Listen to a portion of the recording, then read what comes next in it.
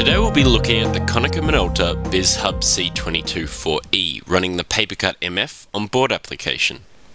In this video we'll be covering authenticating, using the basic copier functions, using the print release queue and PaperCut's Find Me printing, as well as charging to shared accounts. The Konica Minolta device supports multiple authentication methods such as username and password, as well as swipe card authentication.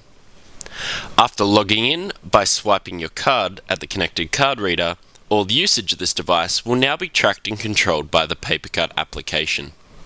Here we're taken into the account selection screen. My user has been given permission to charge to shared accounts or departments. This is dictated by your Active Directory membership settings. Once I've selected the account I wish to charge to, I'll receive a confirmation screen before being taken into the device's copy screen. All copying will now be charged to the previously selected account. This Konica Minolta device has been set up with a secure print release queue. Here you can see a list of my held documents awaiting release, and you can also see more information about that queued document by selecting the Details button.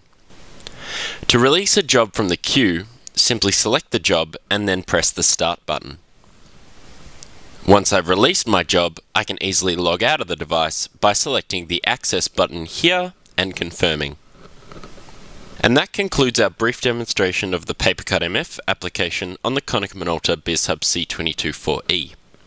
If you're looking for more information about our embedded solutions and other products, please be sure to check out our website at www.papercut.com.